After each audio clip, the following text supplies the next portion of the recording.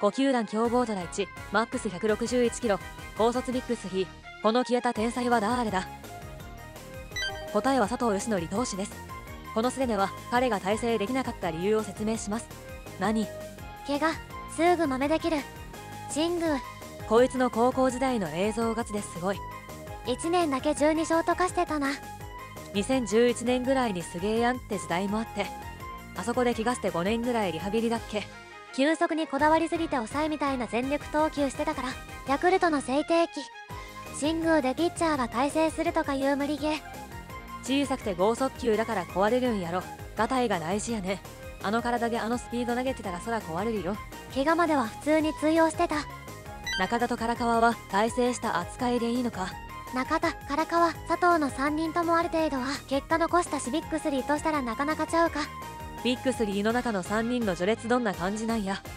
中田唐川に吉則こんなもんやろ。本人がコントロールより休息求めたからな。沢村もそうやけど先発する上で最低限の能力ないのに休息伸ばしてもほぼ意味ない。2011年は間違いなく覚醒してた。肩やったのが運の好き21世紀ヤクルトドラ1先発キエ 3W3W3W3W ヤクルト入った時点で終わりや。野手の中日みたいなもん。奥川さん。ご視聴ありがとうございました。チャンネル登録高評価よろしくお願いします